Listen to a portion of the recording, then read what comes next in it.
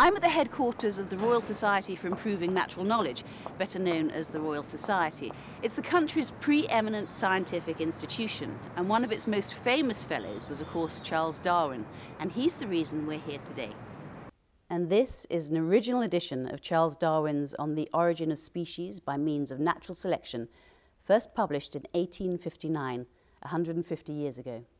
We're in the library of the Royal Society to discuss the impact of Charles Darwin's book on the worlds of religion and science. And I'm going to be speaking to Dr. Richard Fortey, a paleontologist and fellow of the Royal Society and author of Life, a natural history of the first four billion years of life on Earth, and Dry Storeroom Number One, a secret history of the Natural History Museum. Dr. Richard Fortey, thank you very much for joining us. Now, The Origin was one of the most readable of the scientific works, wasn't it? Well, it had an immense popular appeal when it was published. Mm -hmm. uh, it sold out and reprinted several times. And people, of course, were used to Darwin as a writer because he'd already published uh, the account of his voyage on the Beagle, mm -hmm. which was also a very good selling book. For anybody, I'm sure there aren't many people out there who don't know, but could you just sort of, why was Darwin so revolutionary? What was. Well, he put down in very clear scientific terms why species had descended mm -hmm. from an ultimate common ancestor, or how species arose by one thing evolving into another by a series of intermediates. So he sketched out the great chain of life for the first time, and he not only did that, but he gave a mechanism for it, right. natural selection.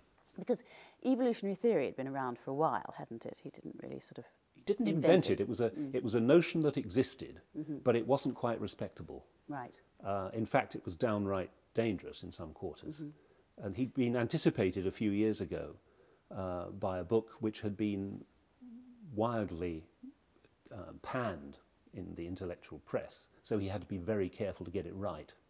But this was a really well argued book. Wasn't he known when it came out as the most dangerous man in England? Well, there's a, I think, a slight exaggeration about how scandalous it was. There were a lot of people, biologists, even men of the church, who were quite ready for the book. Um, there were a, a vigorous opposition, mm -hmm. as it mm-hmm. were, grew up around it, uh, but it wasn't necessarily a majority. And the people that uh, uh, Thomas Henry Huxley, for example, Darwin's bulldog, uh, welcomed the book with open arms as explaining so much in nature.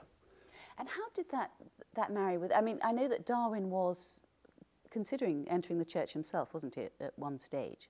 Um, how, how did he tally what he discovered with, with his own religious belief? I think in the, in the origin, he was mm. rather careful to always put it on one side, mm. uh, or to at least give a nod into the idea of an ultimate creator. Mm -hmm. uh, the point was that that creator was not interfering with the natural processes of evolution on Earth. Um, what it did, of course, have the effect of doing was shuffle the role of the creator ever into a more peripheral position. Mm -hmm. um, and that was a process which, once started, of course, didn't stop. And what was the impact? What do you think? Where, where would we be today without Darwin? it's almost impossible to overstate the importance that Darwin has for the subsequent development of science, particularly biological science. Um, for example, all that we know about the genome, about DNA, um, arises from Darwin's theory. If we could somehow rewrite history and write out all that stuff, um, the scientific world would be utterly different today, and so would the medical one. You mm -hmm. know, mm-hmm. we'd wouldn't have half the um, treatments that we have, which are a result of understanding more about how organisms really work. Do you think we'd have got there eventually? Would, would somebody else have come up with it? That's an interesting question. Yes, I think the answer to that has to be yes, mm. because uh, even though Darwin was the man who put the ideas down so well on paper, ideas do have their time. And of course, it's well known that his um, colleague, Alfred Russel Wallace, had come to rather similar conclusions at about the same time. And uh, if you look around the world, there were other transformationalist ideas kind of bubbling up. So he was, in a sense, the man of the moment as well. But of course, that doesn't diminish his achievement because what he did, as he'd done in other realms of science too, was make the argument so incredibly well. Although he wasn't happy, was he, with his prose? Isn't it? I think he worked at it. Mm-hmm. Uh, when he's good, he's very, very good, mm. just as a writer. Uh, but he isn't always very, very good, and sometimes to modern eyes, I suppose, some of the just the writing can seem a little hard going. Do you enjoy it? Do you still go back and? Yes, I do. But of course, scientists tend to go back to kind of uh, um, check the veracity of what they think Darwin said, because uh, it wasn't always quite what you think it is. Yeah. For example, the, the phrase which most people know, uh, the, the, survival of the fittest, uh, wasn't even Darwin's at all.